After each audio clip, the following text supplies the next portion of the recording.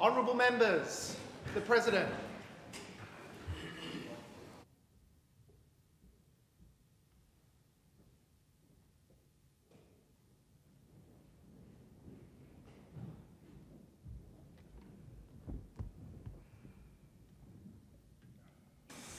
Members, are there any questions? The, thank you. The Leader of the Opposition. Thank you, President. My question without notice, of which some notice has been given, is to the Minister for Education and Training. I refer to the Minister's joint media statement on the 5th of August on the Government Skills Summit and the Government's apprenticeship and training policy, and I ask for each of the following financial years A 2016-17, B 17-18, 18-19, 19-20 and 2021 one, how many apprenticeships were commenced in Western Australia? Two, how many apprenticeships were completed in Western Australia? Three, how many people were in apprenticeships in Western Australia? Four, how many traineeships were commenced in Western Australia? Five, how many traineeships were completed in Western Australia? And six, how many people were in traineeships in Western Australia? The Leader of the House. Uh, thanks, President. I thank the honourable member for some notice of the question. Um, uh, President, the honourable member is asking for a series of, uh, obviously, numbers um, over a series of years. So can I ask to have that part of the answer incorporated into Hansard. Uh, is leave granted? Aye. Leave is granted. Thank you. And then there is a note down the bottom. In December 2017, the state government removed the payroll tax exemption for existing worker trainees due to rorting of the exemption to minimise tax obligations by some businesses. This resulted in existing worker traineeships declining by around 80 per cent over the next two years. New entrant traineeships remained steady over the same time frame. Leader of the Opposition. Uh, thank you, President. Uh, my uh, question without notice, of which some notice has been given, is to the Minister for Mental Health, representing the Treasurer. I refer to the 2019 to 2021 boom of iron ore prices and I ask, one, what is the current spot price of iron ore as measured by Treasury? Two, what was the iron ore royalty revenue received in the 2021 financial year? Three, what is the actual dollar and percentage decline in the iron ore price since I last asked this question on the 24th of June this year? Four, does Treasury expect this decline to continue and if so, to what extent? And five, what is the McGowan government's economic plan for the end of the current mining boom? The Minister for Mental Health. Thanks, President. Thursday afternoon, I love them. I thank the Leader of the Opposition for some notes to the question. The following answers provided on behalf of the Treasurer. Uh, one, US $162 per tonne. Two, the audited iron ore royalty revenue collections for the 2021 financial year will be disclosed in the annual report and state finances released in September. Three, the iron ore prices declined by $54.20 uh, or 25% since the honourable member's question, Legislative Council question without notice 359 on the 24th of June 2021, highlighting the volatility in the iron ore price and the need to budget accordingly. Four, Treasury's commentary of the iron ore market will be provided in the 2021-22 budget. Five, the McGowan government has committed around $8 billion as part of the WA recovery plan and in response to the COVID-19 pandemic. This has provided resourcing for our frontline services, support for businesses and households and significant investments to drive our state's economic recovery and create jobs. The McGowan, McGowan government continues to make record investments in infrastructure to boost employment and opportunities for local businesses and to improve services and support growth over the long term. The Honourable Tjorn Sibma. Thank you, President. My question without notice, of which some notice is provided, is to the Leader of the House representing the Premier. And I refer to your recent comments that the government might possibly enact the net zero emissions by 2050 target in law, and I ask one, do your comments ruling in the possibility of a legislative net zero target represent an official change in policy that your government took to the last election, including assurances provided previously to stakeholders? Two, were your Cabinet colleagues, including the Minister for Energy, aware that you would put out a legislated target on the public agenda prior to you making those remarks? Three, at what point will you make the decision to legislate for a target and upon what information will you rely in forming this position? And four, should you decide to legislate a 2050 target, what consultation process will you initiate prior to drafting a bill? Leader of the House. Thanks, President. I thank the honourable member for some notice of the question. It's not in my file, honourable member, and I don't actually recall signing off on it. But if it does come in before the end of question time, I'll give you the answer. The Honourable Nick Goiran.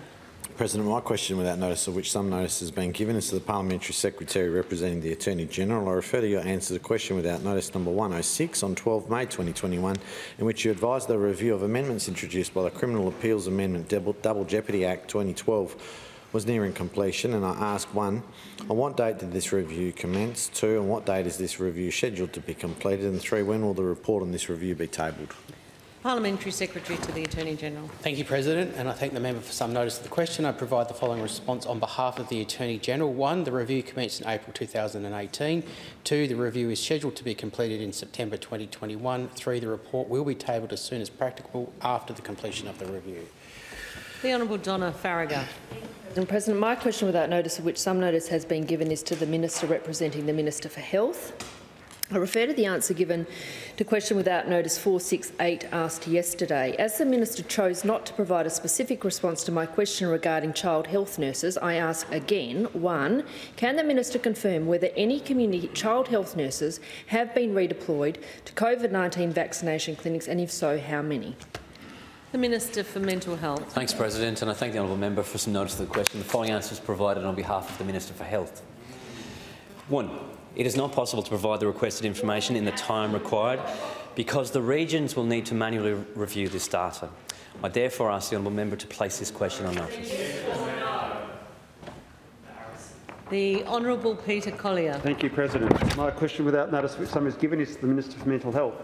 I refer the Minister to question C488 asked on Wednesday the 11th of August to the Minister for Police and to the announcement on Sunday to inject $4 billion to reboot Western Australia's health system. And I ask one, will the Minister commit to fund the ongoing services of the Soldiers and Sirens program, which provides essential mental health services and support for WA Police, other first responders and veterans, and if not, why not? The Minister for Mental Health. Thanks, uh, President, and thank you, honourable member. Uh, I was disappointed to hear that the federal government funding for soldiers and sirens has not been continued, and I do call on the federal minister to reconsider this decision. As you would appreciate, honourable member, um, there is a requirement to adhere to the WA state government procurement rules when undertaking any community services procurement activity to ensure a competitive open market pro procurement process is undertaken. The Mental Health Commission has an unsolicited funding proposal process, and soldiers and sirens have been provided with information to enable them to submit an application for assessment under this process. Uh, the Honourable Brad Pettitt. Thank you, President. My question without notice, of which some has been given, is to the Leader of the House representing the Minister of Housing, C532. I refer to the public housing wait list and I ask, how many people were on the public housing wait list at the end of June and July respectively? Two, of the people in one, how many received a disability support pension? Three, how many people were on the public housing priority wait list at the end of June and July respectively? And four, of the people in three, how many receive the disability support pension? Thank you. The Leader of the House. Thanks, President. I thank the honourable member for some notice of the question. Um, 1 to 2, as at the 30th of June 2021, there were 16,194 applications on the public housing wait list. Of this, 3,293 applications had household members in receipt of a disability support pension or payment. As at 31 uh, July 2021, there were 17,320 applications on the public housing wait list. Um, of this, 3,312 had household members in receipt of a disability support pension or payment. Three to four. As at 30th of June 2021, there were 3,354 applications on the public housing priority wait list. Of this, 826 applications had household members in receipt of a disability support pension or payment. As at 31 July 2021, there were 3,478 applications on the priority public housing waitlist. Of this, 857 applications had household members in receipt of a disability support pension or payment. These waitlist figures are well below the numbers seen under the previous Barnett Liberal National Government, which peaked at 24,136 in 2009-10. The Honourable Sophia Moermond. Thank you, President. My question without notice, of which some notice has been given, is to the Parliamentary Secretary representing the Attorney-General. I refer the Minister to the harm minimisation strategies, priority substances and priority populations outlined in the Australian Government's National Drug Strategy 2017 and 2026, and I ask one, how many West Australians are currently incarcerated for cannabis-related crimes? Um, are female Indigenous adults, are male Indigenous adults, or are Indigenous minors? Thank you. Parliamentary Secretary to the Attorney-General. Thank you, President, and I thank the member for some notice of the question. It is not possible to provide the member with a response within the time available, and I ask the member to place this question on notice. More generally, requests for statistical information may require the agency to manually search through individual records or files which may or may not be held off-site before the agency is able to compile an answer. Every effort is made to answer questions without notice in the limited time available. However, it is for the above reasons that I have previously asked the member to place such questions on notice and do so again today. The Honourable Brian Walker. Thank you, President. My question without notice, of which some notice has been given, is to the Minister representing the Minister for Local Government.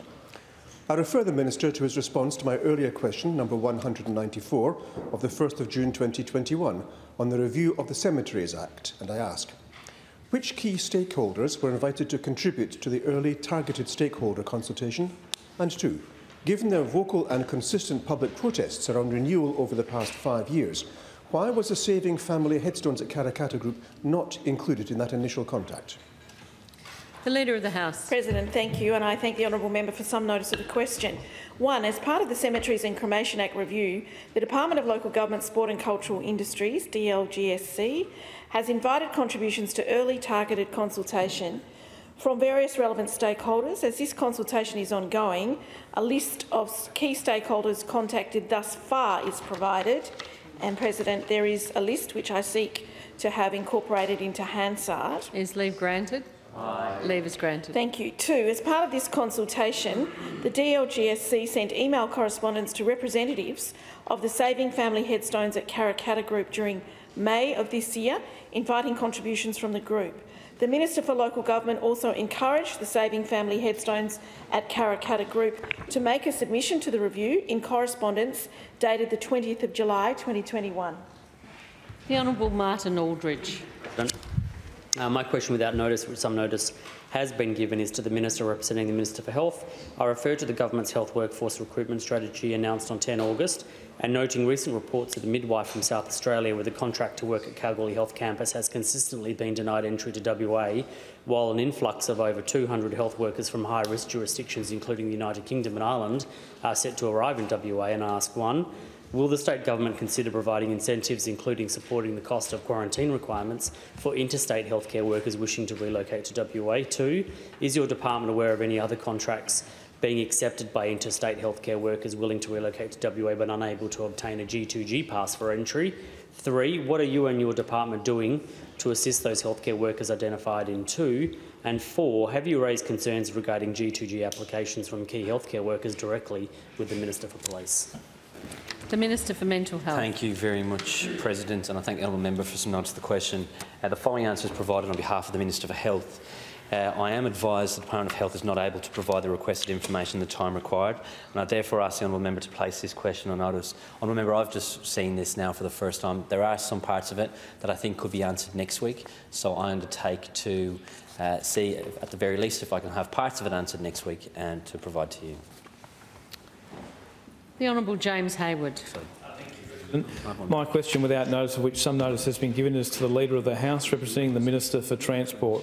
I refer to the practical driving assessments and answers to question 399 uh, C435 and I ask, one, does the Department of Transport allow video recordings of heavy vehicle driving tests? Uh, uh, two, if yes to one, uh, why uh, is video recording of driving tests allowed for heavy vehicle licences and not for C-class licences? Three, in response to question 339, the Minister advised third-party cameras were not allowed to be used during driving tests due to technical, privacy and liability issues. Can the Minister please outline what the justification for their response in more detail? And four, would the use of um, third, if would the use of non-third-party cameras address technical privacy and liability issues? And if so, does the Minister support using department-owned video technology to record driving tests? Leader of the House. President, thank you, and I thank the honourable member for some notice of the question one to two. The Department of Transport has a contract with heavy vehicle assessors to conduct assessments on behalf of the department. Cameras were rolled out following recommendations from a previous uh, Triple C investigation that found a number of heavy vehicle drivers were being licensed without having their competence adequately assessed at a former truck driving school in 2015. This footage is only accessible if a significant breach of assessment is identified as part of the Department of Transport's audit regime. This is not the case with C-class licence assessments. 3 to 4, the answer to question without notice 399 stated that the use of private or third-party cameras would raise technical privacy and liability issues. This is because C-class assessments are undertaken in privately owned vehicles. There are adequate audit regimes in place to ensure the consistency of assessments conducted and to assist with providing feedback to candidates. Uh, the Honourable Neil Thomson. Thank you, President. My question without notice, uh, of which some notice is given, is to the Minister representing the Minister for Health. And I refer to the response to uh, LCQWN 475 asked yesterday related to the practice of transfer of foreign seafarers to shore and onto outbound aircraft in Port Hedland International Airport and I asked by way of clarification if the Minister says, referring to a 14-day quarantine period, that it is not a WA Health requirement for international seafarers to undertake a two-week quarantine period on board a vessel prior to transfer off the vessel, as this would not guarantee that not uh, uh, that there is not a COVID-19 outbreak on board the vessel. How does the minister guarantee there is no infection of COVID-19 among seafarers when they are being transferred through the community of Port Hedland? And two, as the minister says, uh, seafarers are not required to be tested prior to disembarkation if the vessel has been granted pratique and the crews on board are well, when are the seafarers tested? The Minister for Mental Health. Thanks, President, and I thank the honourable member for some notice of the question. The following answer is provided on behalf of the Minister for Health. One, WA Health manage COVID-19 risks of international seafarers by mandating the use of infection prevention and control measures for both seafarers and transport workers through the Maritime Crew Directions and the Transport and Accommodation Services Exposure Maritime Worker Directions. These directions stipulate various requirements, including that travel must occur via a dedicated conveyance for international seafarers and strict infection prevention and control measures are applied. Two, testing is arranged by the Department of Health for international seafarers where there is concern of COVID-19 illness on a vessel. Uh, the Honourable Steve Martin. Thank you, President. My question, without notice of which some notice has been provided, is to the Minister representing the Minister for Housing. I refer to the Minister's comments on the public housing program in the Geraldton suburb of Spalding and I ask one, when will the, pro, uh, the program public housing in Spalding be announced? Two, how many homes, sorry, how many houses in the program is expected to deliver? And three, when is the program expected to be completed? Leader of the House. Thanks, President. I thank the honourable uh, member for some notice of the question. One to three, the McGowan government is acutely aware of the issues regarding uh, the Geraldton suburb of Spalding and visited the area recently. The minister is actively progressing a range of options to return social housing stock across the state, including in Spalding. In progressing these options, the minister continues to work with a range of stakeholders, including the City of Greater Geraldton. The Honourable Steve Thomas. I'm Uh, sorry, the Leader of the Opposition. Fair enough. I answer to anything just about, President. Um, thank you, President. Uh, my question without notice, of which some has been given, is to the Minister for Regional Development. I refer to the Wave Energy Research Centre in Albany, which was announced in 2017 at the same time as the failed $15.75 million Carnegie Energy project, opened on the November, in November 2019 and was funded by $3.7 million royalties for regions grant. And I ask, one, how much of the $3.5 million has now been acquitted? Two, how much of the $3.5 million is unspent?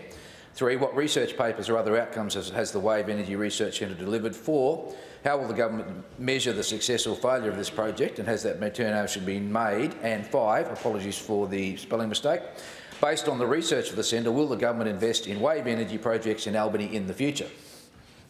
Minister for Regional Development. Well, I, I, thank the member for this question, but I just want to uh, uh, set the context because uh, some people could be led into error by the uh, uh, by the some of the provocative uh, features of the of the question. So, just to set the record straight, we we had a common user infrastructure project with Carnegie when Carnegie went into temporary uh, administration. We terminated that contract. We uh, paid a total of uh, $1.4 million um, in respect of the early work that was done on that project, and that information, all of the data and studies that were paid for um, in that 1.4 million, are now a public resource and provide uh, useful uh, information for energy and shipping industries. Uh, so our government's support for the marine energy sector, and in particular our $3.5 million investment in the UWA, uh, Energy Research Centre has been actually a great success story. The centre currently employs more than 30 researchers, supports a knowledge hub for wave, tidal and offshore energy industries, as well as a research facility to support large-scale commercial deployments of off offshore renewable energy. The centre also supports research for local marine-based industries. The project is still active and funding won't be acquitted until the completion of the project. And I understand there is only around um, uh, $3,000 yet to be, uh, to be granted. But the member will be incredibly pleased to know that to date there has been 43 peer-reviewed research papers that have been published by the members of the centre. Uh, and of note, three common user resource data sets related to the wave energy resource and coastal conditions at the Torbay site are available to the public and wave energy developers at the centre's website. And uh, just last year, researchers from the centre were selected to join the newly established Blue Economy Cooperative Research Centre, a federal government initiative investigating the sustainable use of uh, ocean resources to drive economic uh, growth.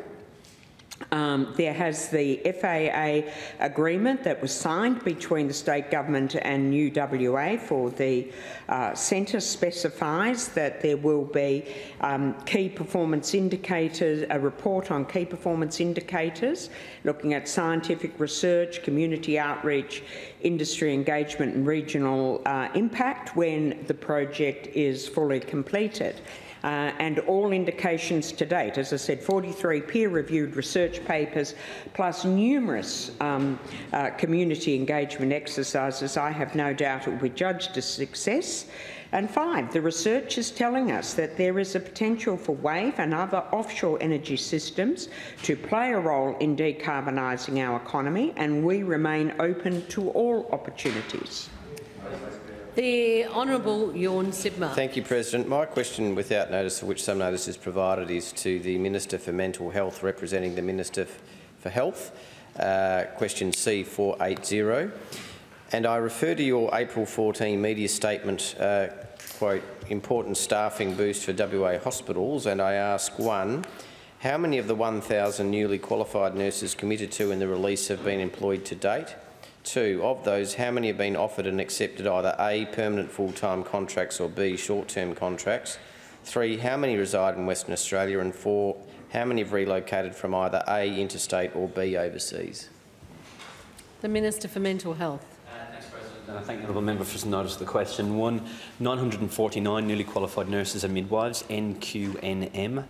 2A NEIL are still in their transition to practice program, TPP.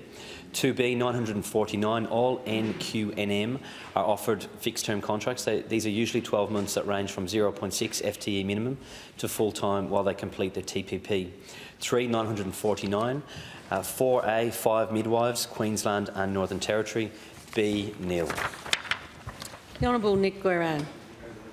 That notice of which some notice has been given this to the Parliamentary Secretary representing the Minister for Child Protection. I refer to the government's announcement on 6 January 2021 committing $37.2 million to the Homestretch program and I ask one, how much of this funding has been allocated to date? Two, which organisations are recipients of this funding? Three, how many young people left care in 2020-2021 in the, that reporting period? Four, how many of the young people identified in three are supported by the Homestretch program? And five, how many young people are supported by the Homestretch program in total? Parliamentary Secretary to the Minister for Community Services. Thank you, President. And I thank the member for some notice of the question and provide the following answer on behalf of the Minister for Child Protection. One to two, the announcement in January 2021 was an election commitment. Funding of election commitments is being considered through the 2021-22 state budget process, which is currently underway. Details regarding funding allocation will be available after the release of the 2021-22 state budget, the Department of Communities will undertake a procurement process to determine the most appropriate recipients across the funding period. 3. 897. 4. 5. Supported through the current homestretch trial. 5. There are 15 places available for allocation to young people in the community's funded homestretch trial in the Fremantle district. In 2020-2021, two young people turned 21 and aged out of the trial. As at the 30th of June 2021, there were 13 active participants. The Honourable Donna Faragher. Uh, thank you, President. President, my question without notice, of which some notice has been given, is to the Minister for Education. I refer to question without notice 173 asked on the 27th of May 2021 regarding the trial of a new $1.2 million culturally and linguistically diverse early years link program and I ask one, can the Minister confirm whether this funding has been approved by the Department has been provided sorry, by the Department of Education and two, if no to one, which department has provided the funding? The Leader of the House. Member for some notice of the question. One yes, two not applicable. The Honourable Peter Collier. Uh, thank you, President. My question without notice, notice which some notice is given is being redirected to the Minister for Mental Health.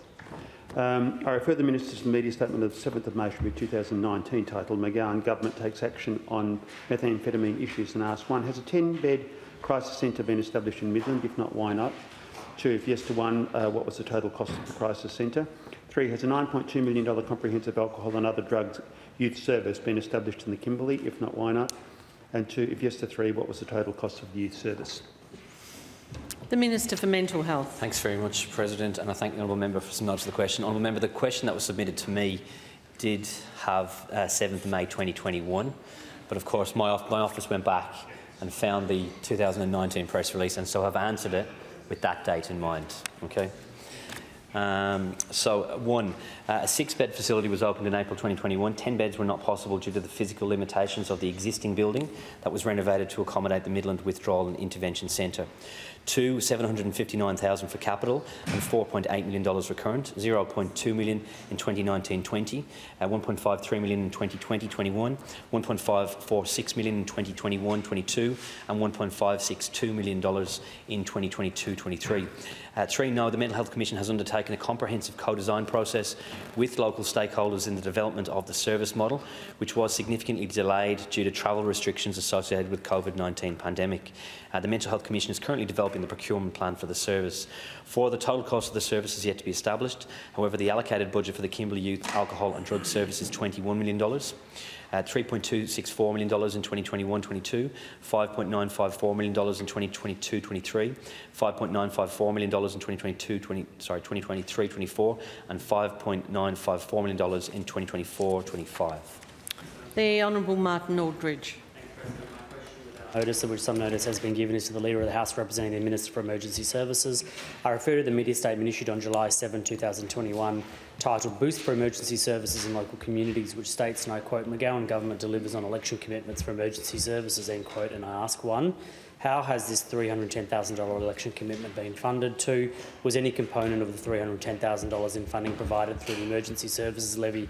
And three, if yes to two, please detail which projects were funded and the amount of emergency service levy allocated to each project. Leader of the House. Thanks, President. I thank the honourable member for some notice of the question. One, this was funded through consolidated appropriation. Two, no. Three, not applicable. The Honourable James Hayward. Uh, my question, without notice of which some notice has been given, is to the Minister for Regional Development. I refer to support services for the ageing in Collie uh, and the community resource centres, and I ask: one, has the Minister received a request to establish a community resource centre in Collie? If yes to one, uh, was the request approved? If no to two, why not? Uh, how many new uh, community resource centres have been established since April 2017, and where were they established? The Minister Uh, I for thank Regional the, uh, Development. I thank the member for the question. Um, I have not received a submission. Um, I am aware that uh, there has been a, uh, a, uh, a constituent of Collie who has uh, contacted the local member uh, and written to a minister about um, the problems that aged people are having with IT uh, in Collie, um, including interactions with Telstra, um, and the letter that I've seen certainly wasn't a, a request for a CRC. Uh, there was a request for a CRC uh, in, inquiry made by um, a, a, service provider, uh, a, a, commercial service provider that tends to use CRCs in the southwest, as to whether uh, there was one in Collie, so they could uh, use that CRC to deliver their services um, that they're uh, paid to deliver by the uh, Commonwealth. But we, uh, uh, there isn't a, uh, a CRC um, application being considered for Collie. Collie is um, considerably larger than any other town that aside from Broome, which is special circumstances that has a uh, has a CRC.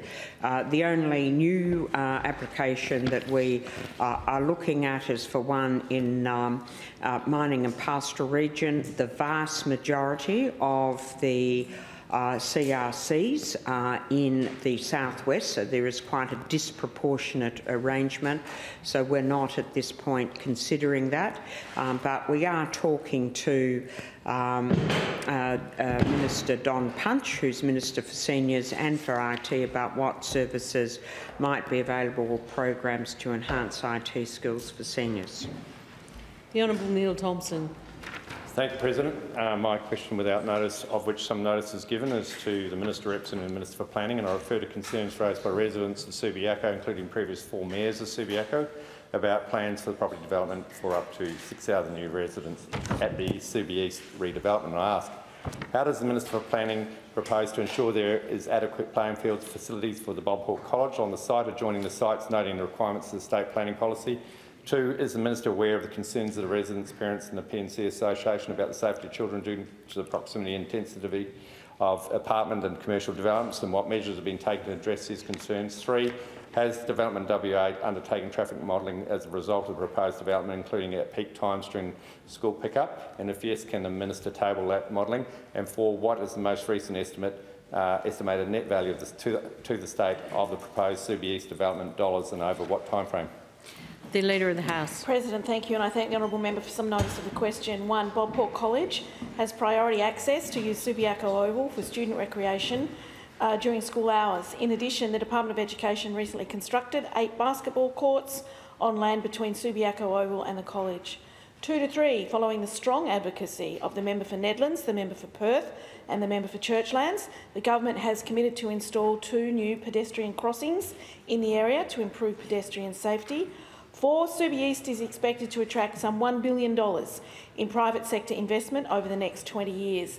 President, I ask the business of the House be resumed. The business of the House is resumed. Are there any further answers from ministers or parliamentary secretaries? Yes, President. Leader of the House. President, I table documents in relation to question on notice number 170 asked by the Honourable Donna Faragher to me, the Minister for Education and Training. Further answers from ministers or parliamentary secretaries. Um, Minister for Mental Health. President, I would like to provide an answer to the Honourable Tjorn Sibma's question without notice 478, which was asked on the 11th of August 2021, and I seek leave to have the answer incorporated into Is, Hansard. is leave granted? Leave is granted. Thanks, President. Uh, I table documents in relation to question on notice number 153 asked by the Honourable uh, Brad, Dr Brad Pettitt to me, the Minister for Mental Health, representing the Minister for Environment. Uh, that document is tabled.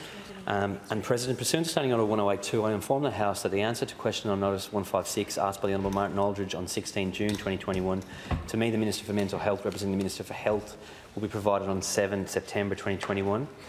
Presu pursuant to Standing Order 1082, I inform the House that the answers to questions on notice 155 and 160 asked by the Honourable Martin Aldridge on 16 June 2021 to me, the Minister for Mental Health, representing the Minister for Health, will be provided on 16 September 2021. Are there any further answers from ministers or parliamentary secretaries? The Minister for Regional Development. Um, uh, President, I would like to provide an updated answer to the Honourable Steve Thomas's question without notice 464 asked uh, of me uh, in my capacity representing the Minister for Energy on 10 August 2021. An error, albeit of less than 1%, has been identified in some of the information provided as part of the original response. Uh, the, answer to, the answer to one is unchanged from the original response. For completeness, however, it is included in the revised answer below. Uh, the answer to two was slightly higher than was provided in the original response. The error is equal to less than 1% of the, uh, and the updated figures are attached. And I apologise to the House for the error. Are there any further answers from ministers or parliamentary secretaries? Minister, uh, members, we move to uh, back to order of the day number 20. Number 20. Financial Legislation Amendment Bill. And the question is the bill be read a second time. Oh, in committee.